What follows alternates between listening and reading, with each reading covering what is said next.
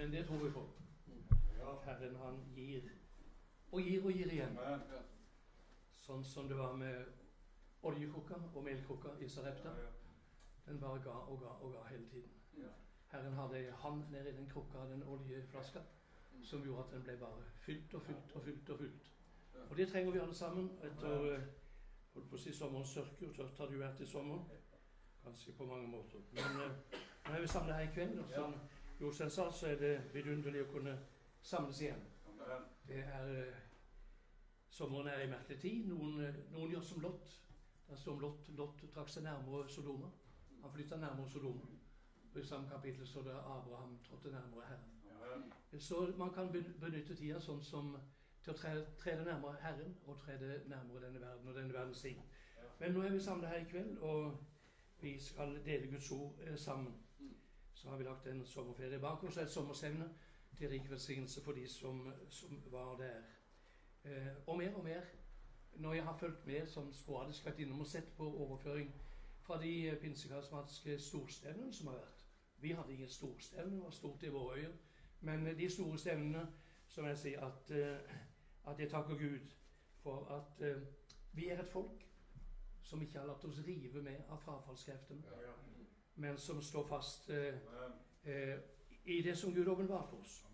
For denne sommeren så har frafallet nådd rekorddype dybder. Eh, Dessverre, er det å si. Møter som jeg ville ha skamma meg overhodet for å ha vært en del av.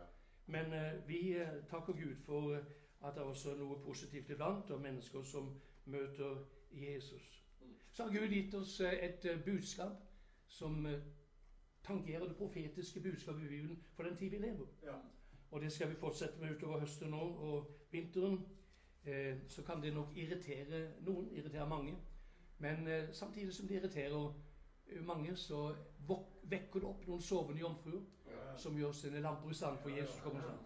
Jesus kommer snart, og da, da vil vi være med. Pris for Herren. Mens vi er sammen her i kveld, så disse møtene som jeg har hatt sendt ut i siste, er det jo 1000, nærmere 2000 som har lytta på hvert møte. De som, og det er vi takknemlige for. Og her i kveld er det også mange som sitter der hjemme. I hus og biler og hytter og hva det måtte være. Og de er også hjertelig velkommen. De følger med på Facebook, på YouTube og på Spotify og hva det heter alt sammen over internett, og vi er takknemlige for det. Og mange nye kontakter har jeg fått på den måten, som jeg takker Gud for. Så vil jeg takke for offergaven som er samla her i kveld. Takk skal dere ha som er med og, og støtter eh, tjenesten. Så ønsker du å være med, så står det vel et nummer her.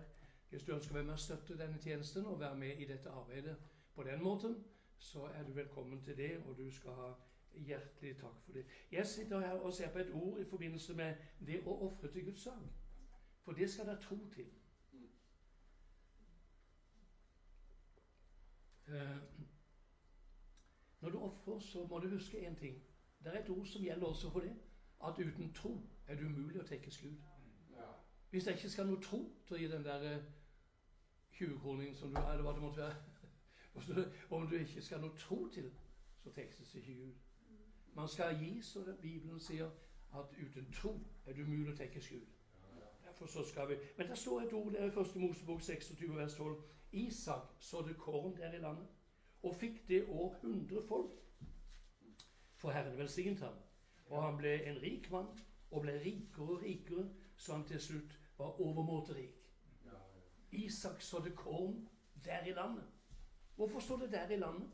Jo, for det var nettopp på en tid hvor det var hungersnød, og jorda bar ingenting. Det var ingenting. Det var ingen hjelp i å så. For det var hungersnød. Det leser du i det første verset at det var hungersnød i landet. Allikevel sådde Isak. Han sådde i noe som ingen andre hadde tro for å så i. Og han visste at eh, jeg er ikke avhengig av at jorda er fruktbar, men jeg er avhengig av Guds velsignelse. Der står han ble rikere og rikere, og til slutt var han overmåte rik. Han var så rik at de bøndene rundt omkring han uh, misunte ham. Men det var fordi at han eh, hadde tro for å så i et land med hungersnød. Amen. Nå skal vi slå opp her i eh, kveld i eh, det første kapittel i andre korinterbrev. Første korinterbrev Andre, andre korinterbrev, første kapittel.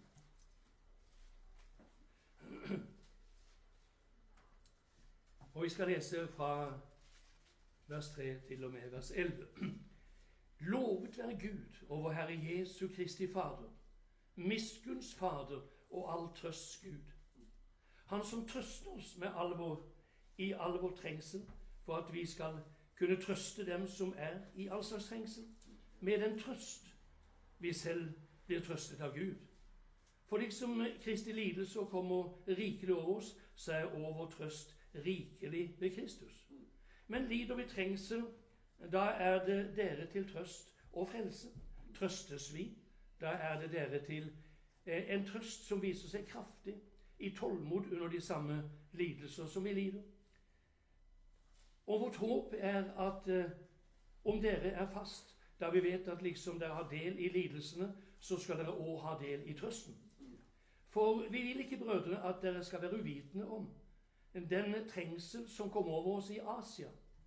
Den var overmåte tung, mer enn vi kunne bære, så vi endog mistvilte om livet. Ja, vi hadde gjort opp med oss selv at vi måtte dø, for at vi ikke skulle sette vår lit til oss selv, men til Gud som vekker opp de døde. Han som fridde oss og frir oss fra en slik død, han som vi har det håp til at han også heretter skal fri oss derfra. I det eh, også dere kommer oss til hjelp med bønn, for at det fra manges munn må lyde rikelig takksigelse for eh, oss, for den nåde som er oss gitt. Ja, pris skjer Gud. Det er jo sånn et ord som av og til brukes i begravelser. Nå er vi ikke i begravelse. Men eh, når dette ordet, eh, disse ordene, disse versene som jeg delte med dere, ti ganger nevner ordet trøst Ti ganger står ordet trøst. Så må det være viktig for Paulus å understreke et poeng. At vi alle sammen, og de som leser dette brevet, eh, de må ta imot en trøst som skriftlig. Her er det altså at Paulus han fullstendig blottlegger seg selv. Han er ikke den ovenpå typen som alltid er sånn keep smiling, som står og gliser så, uh, så bare ørene holdt jeg på å si, sperrer for munnvikene. Han er ikke den typen predikant som står der sånn ovenpå sånn herlighets-halleluja, hælene i taket og tenna i tapeten. Han er ikke den typen. Han sier 'jeg er inne i lidelser som er så store at jeg klarte ikke å bære det'. Han sa at de var overmåte store. Han blottlegger sine ø, følelser.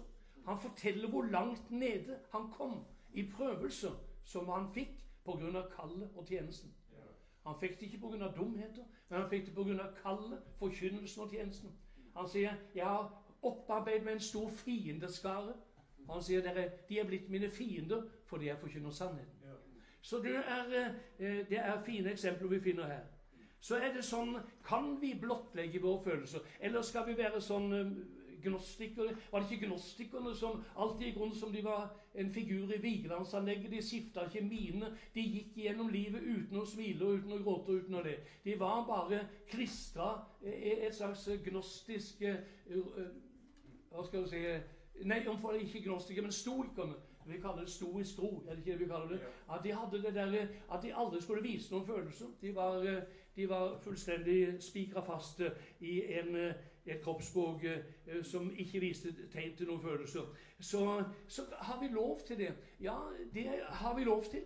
Når eh, motivet er sånn som for Paulus, at den trøst som jeg har fått av Kristus, den vil jeg bringe videre til trøst for dere. Og hvor dyp trøst jeg har fått av Kristus, det forteller jeg ved å beskrive hvor dyp trengselen var som jeg mottok Herrens hjelp i. Eh, hvis ikke vi kan eh, vise til noen ting, så sier han vi kan ikke trøste andre annet enn med den trøst hvormed vi selv er blitt trøstet av Herren. Pris Herren. Og andre forkynnere som kanskje tenker er, det lov for en forkynner å være motør? Er det lov for en forkynner å være nedfor? Er det lov for en forkynner å være så til de grader eh, mot veggen i livet sitt at, eh, som Paulus skriver, eh, så har vi jo det eksempelet her, at den største forkynner vi finner i Det nye testamentet, i hvert fall så langt som jeg kan vurdere det. Den største av alle forkynnere. Han blottlegger, altså som vi leste her, sin utrolige hjelp av Herren i nøden. Så er det sånn at eh, når du da går den ensomme veien gjennom ørkenene, og du tenker at her, eh, her er jeg alene, her er det ingen som har gått Sånne, sånne ting har ingen møtt dem. Så ser du plutselig fotspor i sanden som viser at eh, her er, det, her er jeg ikke alene. Her er det andre som har gått foran meg. Og Derfor så har, eh, så har det altså Gud funnet behag i, gjennom Bibelen, 66 bøker, har han funnet behag i å beskrive nødssituasjon etter nødssituasjon fra den første bladet og til det siste. Beskriver han menneskers nød. Og vi kan se fotsporene etter Abraham og Isak og Jakob og Enok og, og du, Ta de turordene. Der har du Josva, og der har du Caleb, og der har du David som går der og møter løve og bjørn. Og, og, og der har du en Samson som går gjennom Tinata eh, vingård og møter ei løve. Og alt i prøvelser som du opplever. Hele Bibelen er en beretning av prøvelser som Gud frir dem med. Mange er den rettferdiges ulykker, men Herren frir ham ut eh, av dem alle. disse Herren. Her er det at han eh, skriver den trengsel som kom over oss i Asia var overmåte stor, mer enn vi kunne bære. Jeg har slått opp i andre bibelsoversettelser som jeg har hjemme, var overmåte stor, eh, så mer enn vi kunne bære. Der står det 'nedtyngete ut over vår tåleevne'. står det i andre oversett. Ut over vår tåleevne. Der er, I andre oversettelser står det 'langt utover hva vi kunne holde ut'. Og kanskje tenker han da eh, på da han kom til Efesus og vekkelsesmøtene, hvor eh, det var eh, gjennombrudd for det salvede budskapet han kom med, og hvor de ble så irriterte, de som hadde en annen gudstjeneste, som dyrka Diana, denne himmelfallende dronning, dette fruktbarhetssymbolet, dette sexsymbolet Diana, og, og, de satte opp et voldsomt opprør mot ham. Så det var med nød og neppe at han slapp ut av det hvis ikke Gud hadde hjulpet ham. Eller f.eks. i kapittel 23, hvor i, i Apostels hvor du kan lese eh, om eh, eh, jeg slo akkurat opp her, hvor han sier her at eh, vi har De gikk til ypperstepresten, og så sa de Det var 40 mann, 40 sterke mannfolk. Så hadde sammensverga seg. Der står at vi gikk til ypperstepresten og de eldste sa vi har forbannet oss på at vi ikke vil, at vi ikke vil smake mat før vi har drept Paulus. Vi, vil, vi har forbanna oss på 40 mann hadde forbanna seg på at de ikke ville smake matbiter før de hadde drept Paulus. Det er ikke rart han sier at det var prøvelser som var så sterke at det var sånn med nød. Det var for store byrder til at vi kunne klare å bære dem.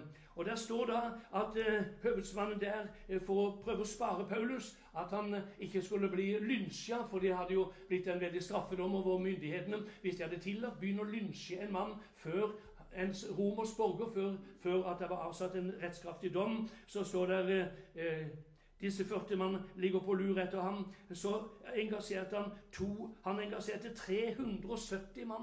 En hær på 370 mann. 200 stridsmenn holdt seg ferdig til å dra til Cæsarea. Og 70 helsefolk og 100 skyttere. Og, eh, og, og, det var midt på natta. Så gikk de altså for å vokte over Paulus, så disse 40 mann ikke skulle ta ham. Det sier litt, og det forteller meg litt om en, eh, en, en forkynnertjeneste som ikke jeg har vært i nærheten av. Men, eh, eh, og som jeg holdt på å si, ligger så fjernt ifra alle disse slinkensleikene av noen, av noen religiøse spyttstikkere eh, som passer på å være til behag for alle mennesker, og aldri sier noe som kan røre noen eller såre noen. Dette som vi leser her, det ligger så himmelfjernt ifra den type forkynnere som Paulus er et eksempel på, og som vi leser her i Bibelen. Ja da, han sier vi mistvilte om livet. Ja, vi hadde oppgjort med oss selv. Vi mistvilte. I grunnteksten står det 'desperate'. Han var, desper han, mistvil, han var desperat når det gjaldt eh, om han skulle fortsette å få lov til å leve. Vi hadde oppgjort med oss selv at vi måtte det. Hva betyr det? Vi hadde oppgjort med oss selv at vi måtte det. Det betyr at jeg så ingen annen utvei enn døden. Jeg så døden rett inn i hvitøyet. Det er det han forteller om her. Han sier det som et grunnlag for den enorme trøsten som han fikk da Herren trøsta. Da Herren kom til ham med sitt trøstord. Og venner, Det trenger vi i den tid. Hvis vi skal stå for det budskapet vi forkynner, så trenger vi også den trøst som ordet gir. Er Herrens trøstord for lite for oss? En av de gamle testamentets hellige fikk høre det. Er Guds trøstord for lite for deg? Vi må ta imot den trøste som Skriften gir, og det er jeg sikker på du vil det. Han så ingen utvei. Kanskje var det når han ble steina der i Lystra, de dro han ut av byen og dumpa han i grøfta og, og alt dette. Ikke vet jeg. Men i hvert fall så dette leder jo tanken hen på den eh, som har lidd mer enn både Paulus og de alle. Han som heter Jesus Kristus i brevbrevet 5 eh, og vers 7, så står det han har i sitt kjødsdag Han har i sitt kjødsdag. Ja, hadde Jesus noen andre dager enn sitt kjødsdager? Ja, det er jo klart at som menneske het han Jesus. Det navnet fikk han der han, da, da, da han sto i Jordan. Der, der, fikk han navnet. Han fikk jo navnet Gabriel på forskudd, at du skal kalle ham når den tid kommer. Og Jesus, og når han heter Jesus Kristus, så var det den salvede Jesus som frem i Jordan. Men han har i sitt kjødsdager. Er ikke du glad for at Gud i himmelen har hatt sine kjødsdager? Er du ikke glad for at han har vært her nede og spasert på denne søvet jord og møtt de stengsler og trengsler og vengsler og alt som måtte møte? Han har møtt de kors som du og meg, og de prøvelser som vi av og til også kanskje eh, må bære. Han har under sitt kjødsdager eh, med sterkt skrik og tårer frembåret bønner og nødrop til han som kunne frelse han fra døden, og han ble bønnhørt for sin gudsfrykt, og slik lærte han, skjønt han var sønn, lydighet av det han led. Det er den Jesus som er midt iblant oss her. Det er den Jesus som trøster. Det er derfor han er prøvd i alt i likhet med oss. Så, så er det bare sånn at uh, i prøvelser uh, ingen, ingen, vet hva vi ingen vet, Jeg vet ikke hva du til bånn og grunn opplever av prøvelser. Av og til så får jeg et lite innblikk i det. Noen forteller meg litt om det og ringer eller ber om forbønn. så får man det litt Men ingen vet dybdene av de prøvelser den enkelte av oss går igjennom. Ingen vet om dybden. Ja, så, så selv brennende troende, selv brennende forkynnere, selv nardusfolk og eh, kan få oppleve det som Paulus sier her, nesten å komme nær bristepunktet. Nær det punktet som er grensen til hva du kan tåle. Og det har eh, jeg opplevd litt av fra tid til annen, men eh, jeg vil ta disse ordene som en trøst til oss alle. Eh, du kan tenke, Når selv en inspirert, ånds kalt broder som Paulus, utvalgt til sin tjeneste fra mors liv av. Når selv en forkynner eh, som han, eh, som eh, under åndens inspirasjon skrev mer enn halvparten av Det nye testamentet, han som greip fjærpennen, og fjærpennen nesten kanskje rista mellom fingrene på ham, da han drevet av ånden skrev brev etter brev etter brev. Når sånn en mann kan bli prøva så langt at han mistvilte om livet, at han kom til en punkt han sier 'nå klarer jeg ikke mer, nå tåler jeg ikke mer', eh, så er det eh, en trøst bare i det at han mistvilte om livet, han trengte trøst. Var det med oss eh, som ikke skriver Bibelen, men som bare leser Bibelen. Han som var, Djevelen var på ham, for han skrev jo denne boka, som Satan hata mer enn noen annen bok. Så selv som en forkynner, som forkynner Golgata, så Paulus Jeg vil ikke vite noe annet enn Kristus korsfestet iblant dere. Eller eh, iblant er Jesus Kristus og han korsfestet. Når så en sånn en mann opplever sånne prøvelser, eh, så forstår vi at vi også eh, kan prøves. Vi også kan prøves. Han, han, han, han opphevde jo kraften i Den hellige ånd på sånn en måte at når det kom over ham, så sa han 'Jeg formår alt', men jeg misviler om livet. 'Jeg formår alt, men jeg kan ikke bære mer'. Du kommer altså til et bristpunkt hvor du sier 'Jeg formår alt', men nå er jeg kommet forbi det jeg formår alt til et punkt som, som det virker som eh, det brister. Ja, han, han, han, selv en apostel som Paulus, eh, som går til hele verden var han soknekar, han reiste fra sted til sted, etablerte menigheter. Så mirakuløse ting skjer. Allikevel sier han på en måte jeg håper du kommer snart, Jesus. For dette her eh, er sånn at jeg vet ikke lenge holder det ut. Jeg håper du kommer snart. Jeg håper du kommer snart, eh, for der står eh, Dette han skriver i 2. Korinterbrev 6, der han skriver at 'jeg lengter etter å bli overkledd med min bolig fra himmelen'. Jeg lengter å komme ut av denne plagede hytta som jeg lever i, og bli overkledd med min bolig fra himmelen. Det er hva han skriver. Og Sånn var det har eh, stått opp her i Johannes eh, da han var på Patmos i det 22. kapittel og 20. verset. Så står det om, om, Patmos, eh, om, om Johannes. Han som vitner dette, sier 'Ja, jeg kommer snart'. Det var Jesus sa. 'Jeg kommer snart'. Og hva sier Johannes da? Kan du ikke vente litt, dryga litt lenger, o Jesus, som han synger i den svenske. Dryga litt lenger, for jeg har så mange i min familie som gjerne skal bli frelst. Disse mennesker er jo fullstendig blinde for at jo lenger Jesus venter, jo flere ufrelste blir det. Eh, antall ufrelste vokser i forhold til antall frelste, for det går jo ned. Men eh, eh nok om det. Eh, så er det at eh, når, når, når, Johannes får høre Jesus si 'Jeg kommer snart', så sier han 'Amen, kom snart'. Sånn en mann han kjenner det, at hvis det er det herlig å leve med Jesus, hvis det er det herlig å være på pass og få syne og ligge i den evige himmel og se Guds profetiske plan Men, eh, men eh, han sier 'Herre Jesus, kom, kom snart, Herre Jesus'. Så det er stunder i livet hvor du, hvor du ikke i, i første rekke tviler på Jesus, men du tviler på deg selv. Eh, Paulus sier ikke 'jeg tviler ikke' at jeg tviler på at Jesus kan skal opp i dette.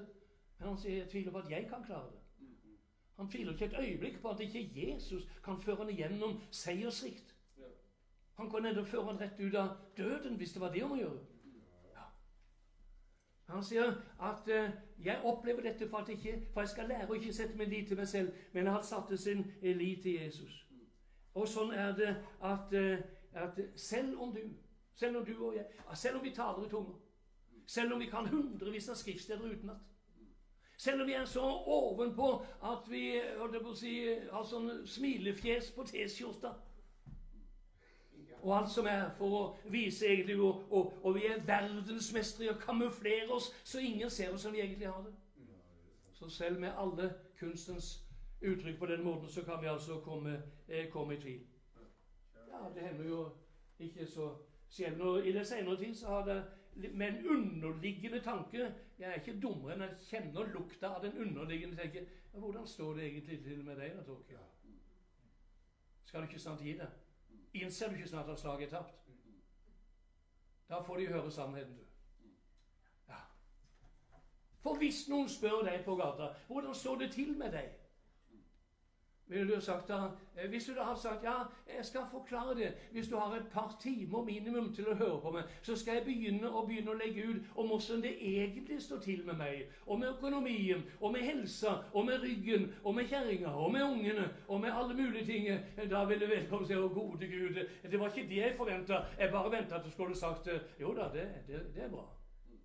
For det er jo det folk venter. Folk venter ikke noe innvikla svar. De hadde ikke tid til å høre på. Sannheten er at om du svarer til et menneske Jo da, priser Gud. Jeg lever i Guds velsignelse, og jeg lever i Guds nærhet. Så er det et svar i Bibelen på hva du da vil oppleve. Den som vil leve Gud fryktig i denne verden, han skal bli forfulgt. Så hvis du sier 'jeg lever i Guds velsignelse', da har du allerede fått et svar fra Bibelen. Da vil du bli forfulgt. Så enkelt er det. Så enkelt er det. Det er fine råd. Der er ingen religiøse lykkepiller som du liksom bare kan eh, svelge og se alle sorg og sokt. Det er ikke på den måten eh, som det foregår. Ja. Så er det bare det at ja, Jesus, jeg håper Jesus kommer snart, for nå har jeg det så vanskelig. Jeg håper Jesus kommer snart. Altså Svaret på dine og mine problemer er ikke at Jesus kommer.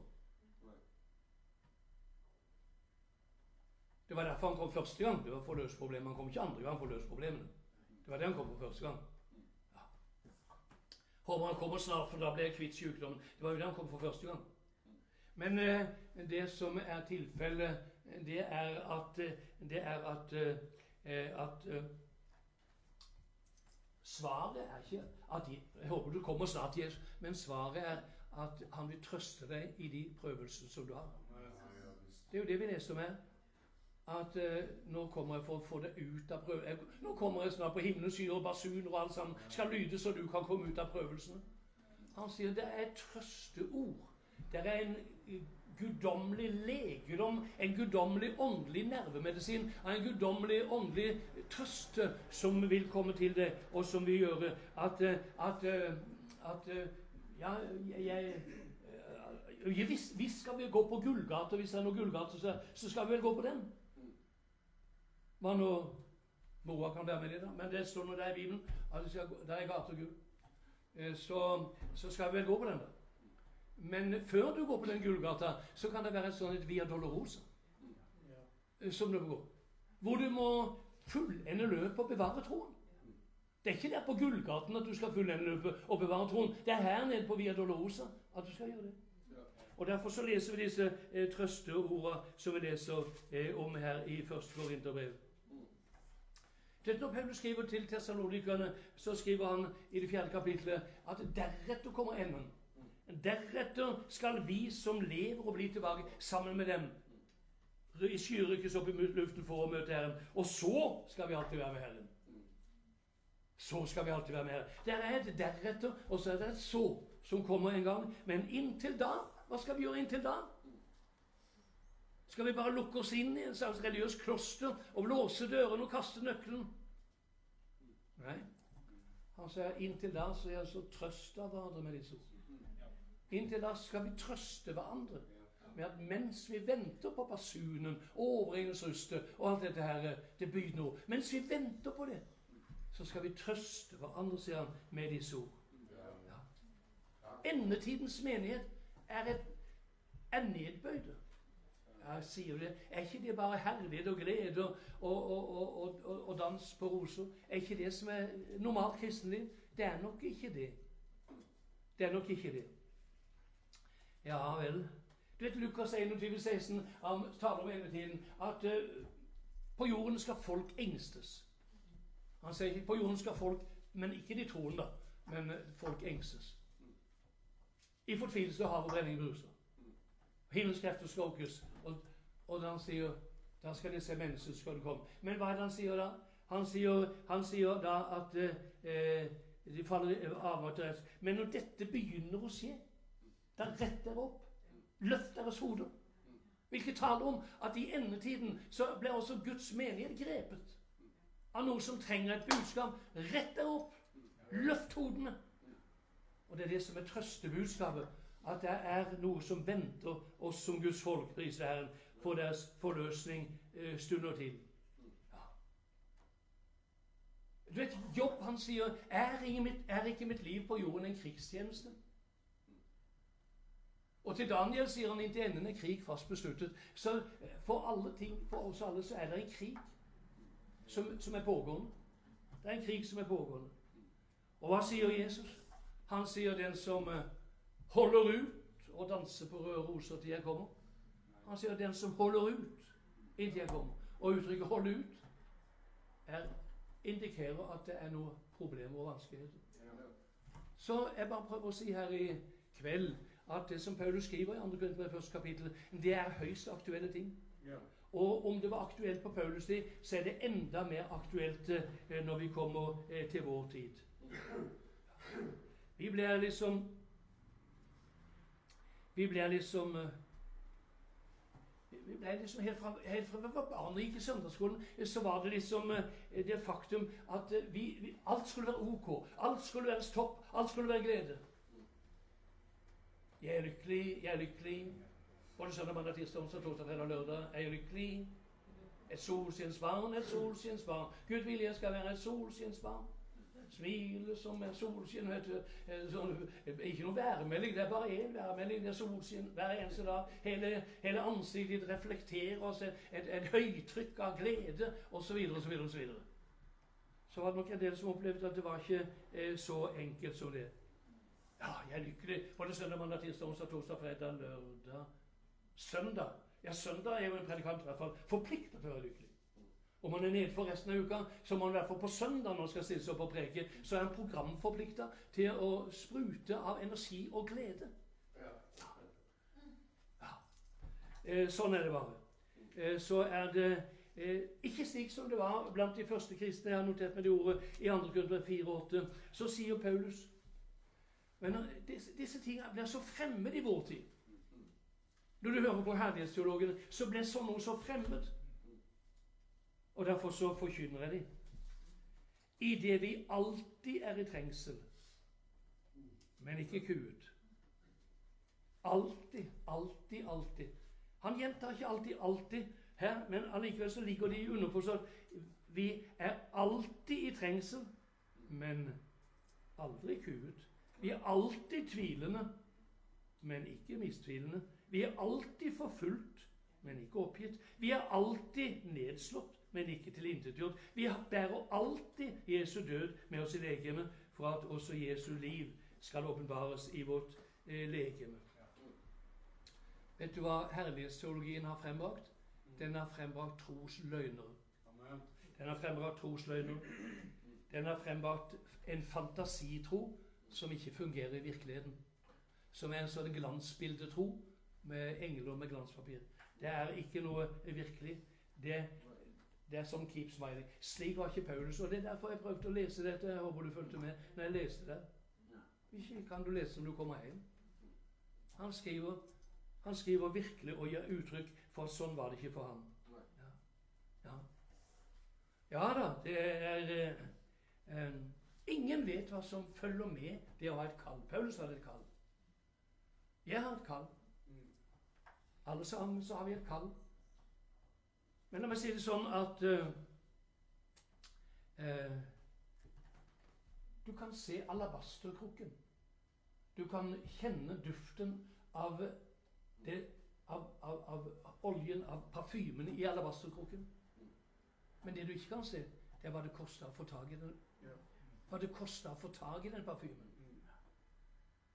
Det er en del av den parfymen, er det ikke myra, som myrablomsten avgir en parfyme som var så kostbar, men den parfymen kom ikke frem i blomsten før den døde. Kunne ikke lukte på den når den var levende. Det var når den var død, så kom myraduften frem. Derfor skulle den være med i salvelsen. For det er en duft som bare døden frembringer. Og det er det som Paulus beskriver her. Han beskriver det her. Ja, så eh, Vet du, Paulus han skriver 'Jeg bærer Jesu Krist'. Han skriver det i det siste kapittelet, siste verset der til Galatermenn. 'Jeg bærer Jesu Kristi merketegn på mitt legeme'. Ja, Da går du vel rundt som alle disse predikantene som jeg har sett i sommer, som bretter opp og ruller opp skjorta hans så langt de kan for at du skal se tatoveringene av disse sydlandsjentene som de fikk tatovert hos Tato-Jack i København. eller noe. Eh, så går du vel rundt og så viser frem merketegna, alle merkene på ryggen fra de gangene du ble hudstrøket og steina og slått Paulus. Nei, han hadde klærne utenpå det. Men under klærne, som folk ikke så, der var det merker etter hans liv med Jesus. Og Det er noe av det som han eh, beskriver her. Han sier jo at eh, 'jeg bærer Jesu Kristi merketegn på mitt legeme'. Nå er det det, venner, at vi har Vi har Vi har fiender. Alle som har fiender, har ikke du det? Ja, vet, så, vet du om, så vet du om noen av de fiender. Jeg vet kanskje om noen av de fiendene du har, og du vet om noen av de jeg har. men, men du vet om de synlige fiendene, men du vet ikke om mine usynlige fiender. Og Det er der som det virkelige fiendskapet setter inn. Jeg har notert meg et par vers fra Bibelen her. Han sier vi har ikke kamp mot kjøtt og blod. Vi har ikke kamp mot synlige fiender. Men det er usynlige fiender. Og Bibelens trøstord er ikke i første rekke mot de synlige, men det er mot de maktene og myndighetene og ondskapens åndeherre og verdensherrene i det mørke. En eller annen kveld, hvis dere fremdeles vil høre på en gang, så skal jeg preke litt om en meget alvorlig åpenbarelse som Gud ga meg her for et par kvelder siden.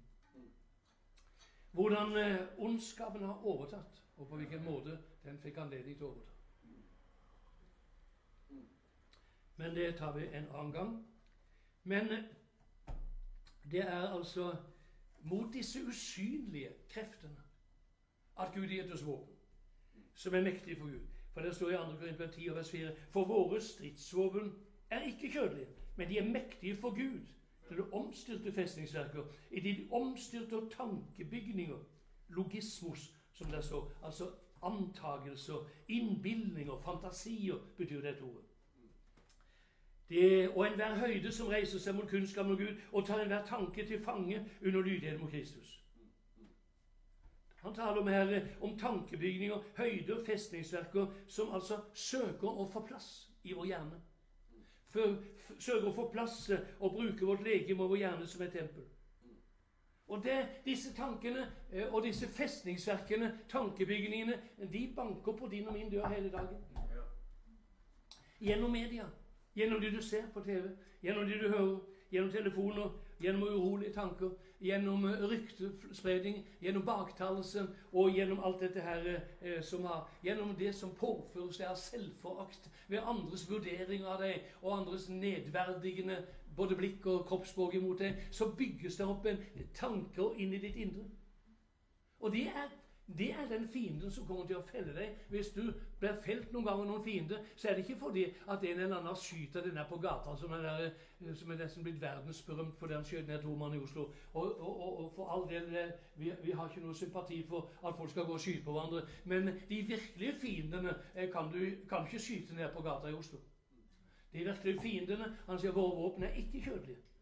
For å bekjempe disse så må vi altså åndelige, åndelige eh, våpen. For uh, ingen, eh, ingen ser den skjulte fiende som du har, som har bygd en festning i ditt hode av tanker, av forestillinger, av innbilninger, av bygninger, av festningsverker. Ingen kjenner den. Du kjemper en kamp som ingen ser.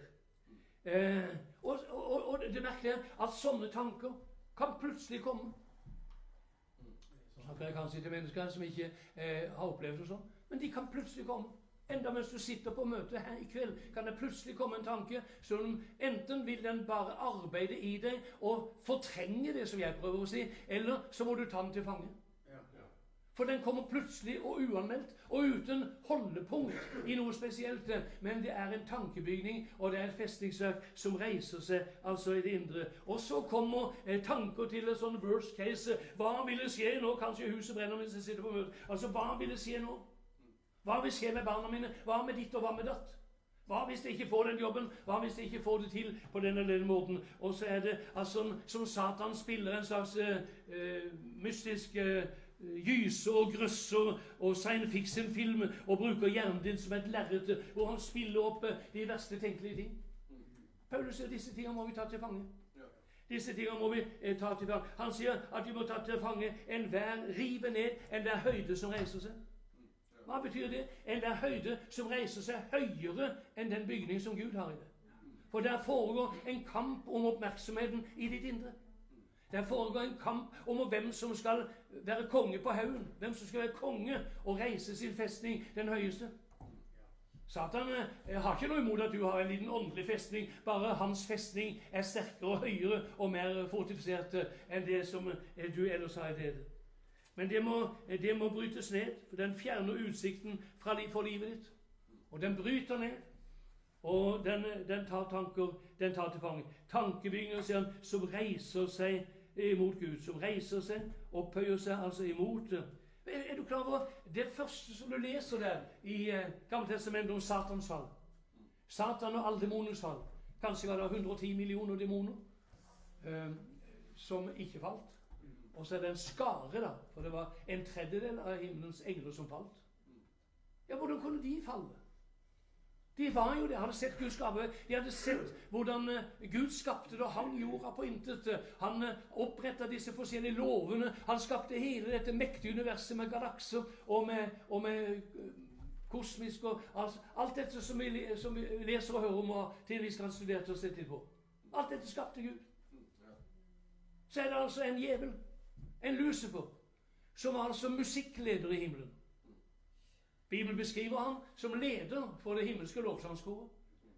Akkurat som eh, Mikael var lederen for den krigførende avdeling, og Gabriel var leder for budbringerne når det skulle sendes en beskjed til noen, enten det var til Josef eller Maria eller til Daniel, eh, så var det de som kom. Men den som altså var lovsangslederen, som paukene og harpene og symblene, eh, lovsang, strengeinstrumentene, blåseinstrumentene, trommeslagerinstrumentene Alt lå i ham. Han var som en levende synthesizer. Så når han, når han sa 'pris skje Gud', så var det som du spilte på tusen instrumenter. Denne mannen, denne engelen, denne overengelen, han begynte med en forkynnelse som ligner veldig mye på en del forkynnelse i dag. At det eneste som jeg ønsker at dere andre engler skal få del i, det er å bli lik Gud. Men sånn som Gud sitter der, så kan ikke dere bli lik ham. Først må jeg bli Gud, og så skal jeg sørge for at dere blir lik Gud. Det er jo forkynnelsen. Ja, ok.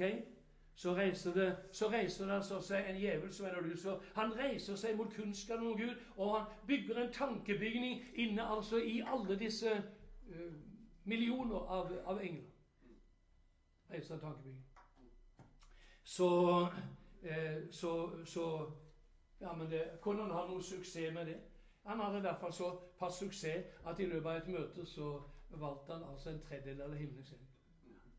Ja. Himmelens engler var jo 1000 ganger 1000 og 10 000 ganger 10 000, som er 101 million. Og så uh, fikk han altså overtaket på en tredjedel. 50 millioner vant han ved sin første forkynnelse. Ja. Så ingen skal fortelle meg at ikke vi har en fiende som er effektiv. Han kan forføre mennesker som har sett Guds mirakler på sånn en måte, som alle disse englene som var til stede. De var skapt før jorden, før himmelrommet, før alle galaksene var englene skapt. De var tilskuere til det. Jobb beskriver det, hvordan de var tilskuere til det. Ja. Men eh, Herren har gitt oss mulighet. Han sier det, vet du, han, vet du, David sier at når mine urolige tanker i meg ble mange David opplevde mannen etter Guds hjerte, mannen som var mer salva enn vi kan forestille oss. Han opplevde dette personlig. At tankene var som er karuselltankene var som en uh, miksmester, inn i en miksmester. Når mine urolige tanker i meg blir mange, hva sier det? Så hun svaler din trøst, min sjel. Så når du blir miksa opp med all slags angrep i ditt indre menneske, så er det bare én ting. Det er Herrens trøstord. Og det er det som han talte, og det er det som jeg, leste her. Ja. Priset være Herren. Der står i Hebrevet 12, vers 1 vers 3. Ja, gi akt på ham som uh, har litt sånn en motsigelse av synder, så det er ikke der går trett og blir motløse i deres sjel. Gi akt på ham. Uh, her er det som jeg leste, at Paulus taler åpent om prøvelser og utover hans tåleevne. Men Paulus Det er ikke noen som kan måle seg, så vidt jeg kan eh, bedømme det, i hvert fall i Bibelen. Det er ingen som kan måle seg med Paulus. Det er ingen forkynner noen gang siden som kan måle seg med ham. Derfor tåler de ikke Paulus. For han overgår alle teologer. Og ingen teolog liker noen som ikke de kan måle seg med. Så de liker ikke Paulus i det hele tatt. Eh, han som hvis han ville, så kunne han fremføre mesterskap i tale. I Apostelgjerningen 20 så var han i Troas. Han var og preka i et møte i Troas. Og en, en, en ung mann som het Entykus, han satt oppe i vinduskarmen i tredje etasje. Yeah. Paulus da, var i ferd med å holde, holde en preken som varte tolv timer. Vil du ha vært i et møte hvor Paulus preker i tolv timer? Da skal du være ganske glad i ordet, og ganske glad i forkynneren også. I tolv timer preker han. Og under den tiden så ramler fyren ut av vinduet og faller ned i gata stein død. Hva gjør Paulus da? Paulus tar trappen og går tre etasjer ned.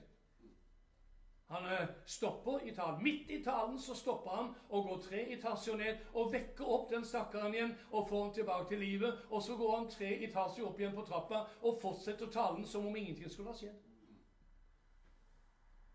Det er ikke noen hvilken som helst mann vi møter her. Det er en mann som har uh, Guds kraft over alt hva han foretar seg. Så har han det. Når han kommer igjen ja, eh, Unnskyld meg, kjære venner. Jeg tror jeg mista tråden etter det som skjedde i møtet. Ja.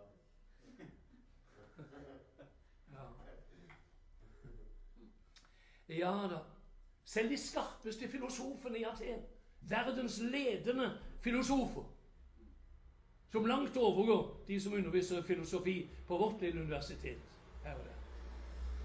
Selv de skarpeste filosofene de ville høre ham, og når de hadde hørt ham, så ville de høre ham, så ville de høre ham neste gang også. De ville høre ham igjen og igjen. Og konger og landshøvdinger og Drusill Du vet alle disse her uh, Festus og Agrippa og, og Eurike og Alle disse her, de ville jo høre på Paulus.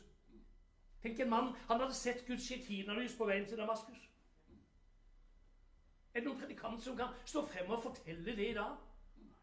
Jeg var på vei og plutselig så ble jeg slått av hesten og ligger langflat.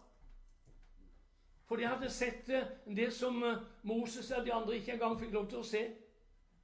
Uten et, eh, uten et sky av skydekke foran. Ypperstepresten fikk inn én gang i året. Han måtte ha med seg røkelse, så han ikke så sikinalyset på, på, på, på, på nådestolen. Så han ikke så den tydelig.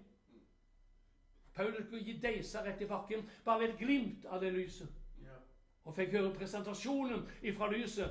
'Jeg er Jesus'. Hvem er du, Jehova? Jeg er Jesus. Han sier, 'Hvem er du, Jehova?'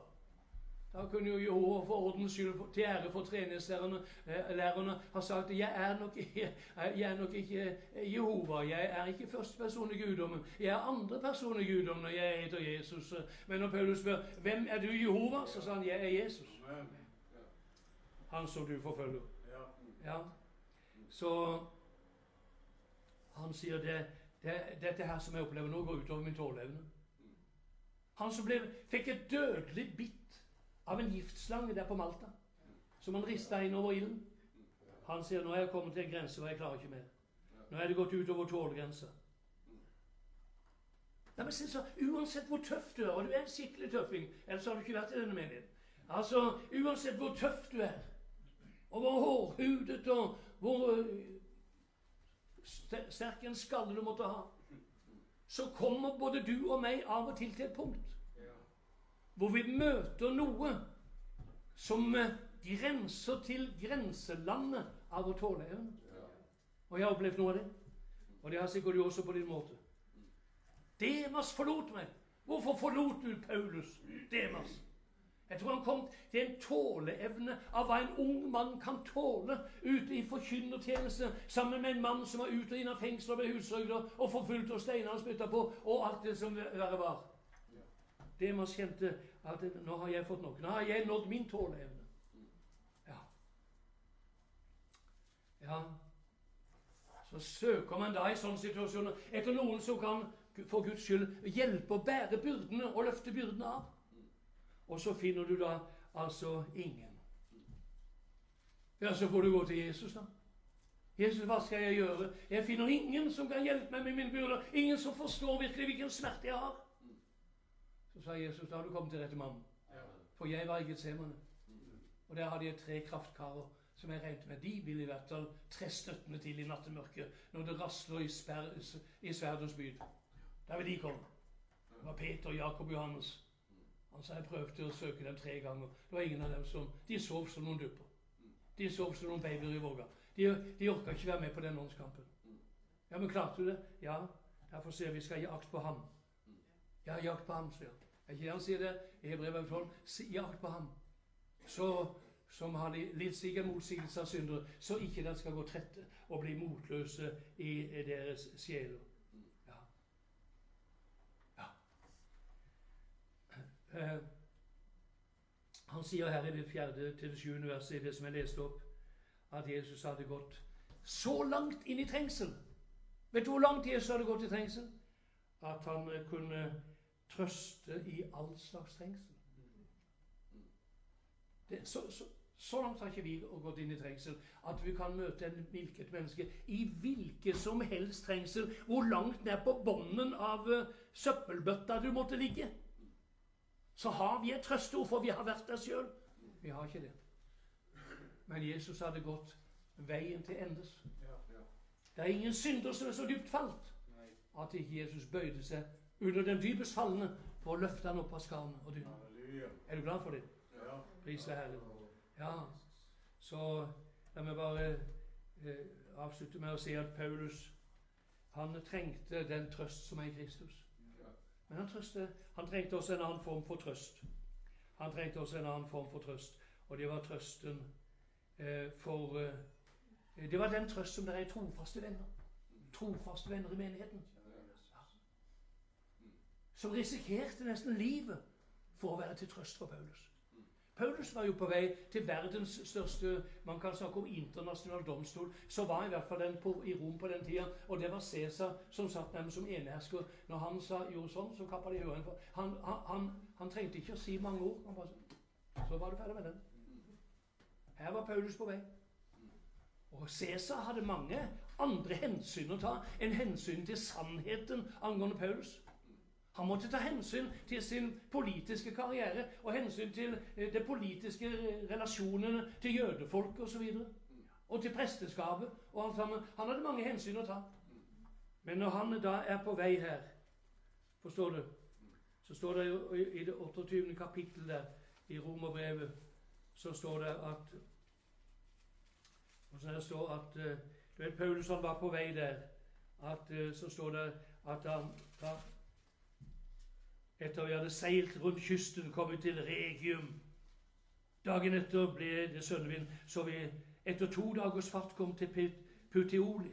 Der fant vi brødre, og de, eh, og, og, og de ba oss å bli syv dager hos dem. Og så kom vi til Rom, og da brødrene der fikk høre om oss, gikk de oss i møte derfra til Forum Appi og Tres Taberné. Da Paulus så dem, takket han Gud og fattet mot.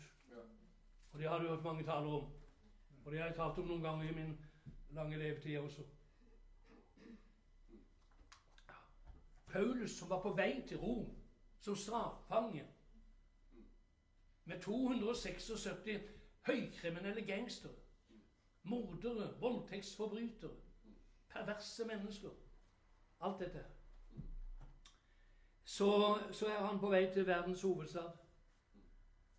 Senteret for all løgn er Rom. Den gangen som i dag. Senteret for alle religiøse løgner, og for den del også politiske. Så kan du trygt reise til Rom, så finner du, så finner du hekseryta di der. Så ser du her er to verdener som møtes. Her er Guds rike, representert ved Paulus. Møter verdens rike, representert ved Cæsar og den romerske statsmakten. Ja. Så ser du den eneste apostel som Gud har kalt til hedne hedningen. Han går fremodig rett inn i hedenskapens hovedstad. Og så møter han disse menneskene der. Satans hovedkvarter. Og der inne der er det templer og teatre.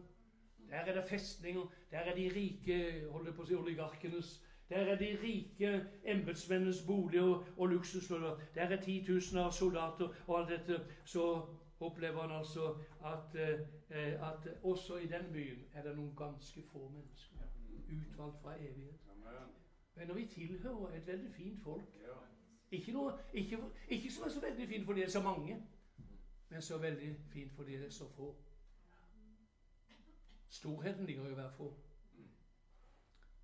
Storheten ligger i å være få.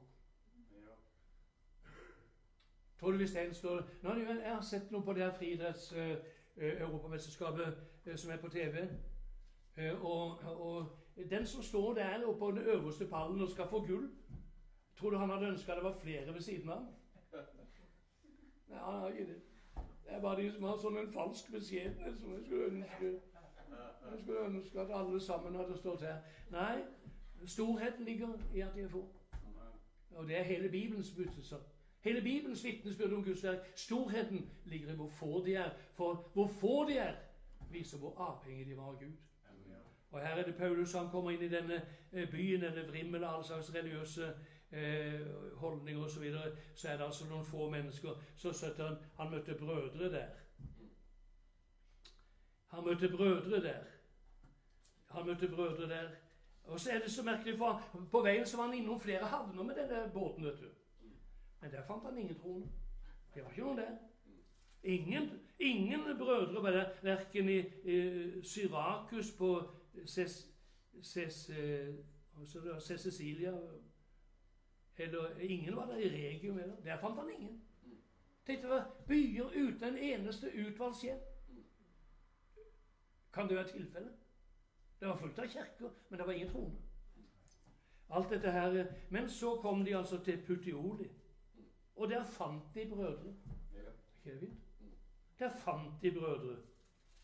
Herren sørga for at de som hørte sammen i troen, de fant hverandre. I denne byen så fant, fant de altså hverandre. Skal jeg straks jammen. Og så er det at det derfra til, fra Putioli til Rom så gikk de til fots. Og da er det at noen brødre der inne i menigheten i Rom. Noen av de som var bundet antagelig på pinsedag. Du vet, Det var, det var tilreisende fra Rom, det som vi har Apostelgjerninger 2, som kom til pinsedag, og som ble fylt av Ånden, og som var der og ble døpt i Jesu navn av Peter og de andre. Og Noen av de kom sikkert tilbake til, til Rom, noen ganske få. Og så er det at uh, der, der, er noen som kommer for å møte Paul. De sprekeste de kom helt til Forum Appi, som er ni mil fra Rom. Der gikk de til fots for å møte en straffange av en menighetspastor. Og de som ikke var fullt så spreke, sånn som oss, eh, de, eh, de kom til Tres Tabernet. Det er ca. seks mil til fots. Og så leser vi om Paulus eh, Altså, De skamma seg ikke for å gå og møte og gå ved siden av en mann. Kanskje gikk Paulus lenka til en fangevokter. Men ved siden av så gikk det altså dassa noen, noen ganske traska, det traska Det er vel mer rett ord. Traska ved siden av Paulus noen enkle brødre fra Rom. Ingen verdenskjente predikanter. Ingen eh, sånn uh, smokkingkledde leder for hovedkvarteret i Amerika. Ingenting. Ingen prest med kors på magen og kors på ryggen. Ingen sånt. Men eh, det er noen enkle venner som kom der. Og så når da Paulus møtte disse, så står det han takka Gud for dem. Ja. Han takka Gud for dem. Og derfor er mitt lille, eh, in, in, mitt lille oppfordring her eh, Er det noen vi kan Har vi noen eh, som vi kan takke Gud for? Han takka Gud for det. Det var ikke rare velkomstkomiteen. Jeg tror ikke de hadde med noen voldsomme ekvipasjer som skulle føre den verdenskjente predikanten gjennom, gjennom eh, åtte-ni mil. De traska langs de søvete veiene. Men det, Paulus takka Gud for det. Han så et potensial i dem. Men la oss se potensialet i hverandre, selv om vi er blant de få. Så la oss finne trøst i det som Paulus Han fatta nytt mot han så disse prisværene. Ja da. Før han møtte inn i helvetes hule Cæsar Nero og de andre der, før han møtte disse der i Rom, så møtte han disse fine brødrene. Paulus skriver i 2. Timotus 4, vers 11 Lukas er alene hos meg. Så sier han, kan du ta Markus med deg? Timotus, kan du være så snill, ta Markus ved deg? Han sier ikke, kan du ta representanter for hovedstyret? Eh, for eh, de delegerte som er valgt ut av vår organisasjon? Ingen sånn. Han sier, kan du ta Markus? Hva var Markus? Det var en som han hadde falt ut med tidligere i tjenesten. Han som, han som reiste hjem igjen. Johannes Markus, som Barnabas måtte ta seg av. Han var litt mer langmodig enn Paulus. Så ta han med deg, for han er med til nytte til tjeneste. Så sier han når du kommer Timoteus, når du kommer, kan du ta med deg de sinnbøkene og vinterfrakken. Så jeg skal slippe å fryse i hjel her. Forstår du? Gjør det umaks sier han, for å komme før vinteren. Ja. La meg bare si det sånn Det er en som, er, som kommer med et trøsteord til deg og meg her i kveld, i hvert fall til meg. At det siste veistykket kommer han til å sende brødre som vi føler samfunnet. Ja, det er sant. Ja. Han vil ikke sende sånn en flott liten som kommer på lystjakter, vet du, fra er Ikke noe sånt. Nei, nei, nei. Ikke komme noen som kommer med limousin fra hovedkvarteret. Han vil ikke komme noen som kommer med siste nytt i, i Tesla og Cadillac og ja, alt det der. Men han, han, han kommer med enkle mennesker. Og det er det som Jesus sier. Han kommer til sine. Han kommer til sine. Halleluja. Pris til Herren. La meg si et ord til sist. Til dere som sitter her som så godt vet om det, men til de mange hundre som lytter der ute i, i, i, i internettland. La meg si noen ord. La ingen komme til deg med en falsk trøst i endetiden om en vekkelse som er rett rundt hjørnet. Jeg kan si så sier Herren, den kommer aldri. De profeterte falskelig om den i Sarens dal i 1969. Til dags dato har det ikke kommet noe annet enn noe frafall. Disse predikantene som profeterte om det, og som fortsetter og fortsetter og fortsetter, og enda i dag profeterer i sommerstevnet om den enorme vekkelsen. La ingen lure deg at dette skulle være en trøst til Guds menighet. Det er helt andre ting som trøster meg enn løgnprofetier. Ja. Det som er sannheten, at det som kommer, det er et eh, frafall ytterligere. Og plattformer fulle av ugjenfødte artister. Og talerstolene fulle av falske profeter. En av de største menighetene her på Sørlandet, en av Norges største pinsemenigheter, har invitert tre falske profeter til å holde kampanje nå utover. Ja. Så forsamlinger til, kommer til å rundlures. Men det som jeg vil trøste dere med, som jeg har prøvd å si her i kveld, det er at vi er på linje med Ordet. Amen som eh, ble lest til å begynne med, nevnt av Jostein til å begynne med, at dødsrikets båter skal ikke få makt. Det kan synes Nå har vi nådd tåleevnen. Nå har vi nådd grensen Nå holder vi ikke ut. Når trykket presset for stort. Nå er vi pressa ned. Men eh, Herren skal gjøre prøvelsens inngang og dens utgang, så vi kan tåle det. Takk og lovpris. Så takker jeg deg, Jesus, her i kveld. At jeg har fått lov til å stå igjen bak den talerstolen enda en gang. Og sikkert har jeg irritert hundrevis, som jeg har gjort så mange ganger før. Men jeg, jeg ber at du må gå inn i hvert eneste menneskes tanke og sinn. Og ta kontroll over hva vi skal tenke om denne tiden vi lever i. Og ta kontroll med ordet. Ikke la falske profeter fortelle oss hva vi kan vente oss, men la ordet fortelle hva vi kan vente oss i denne tiden. Jeg priser deg for det. Hjelp oss, Herre, små og få som vi er.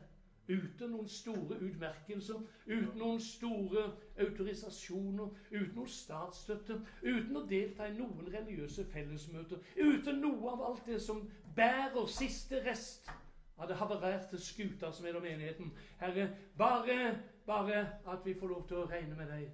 At vi ikke skal sette vår lit til mennesker, men all trøstens Gud. Derfor du kommer til oss i kveld og trøster oss. Jeg skal være med dere alle dager inntil denne tidsalders ende.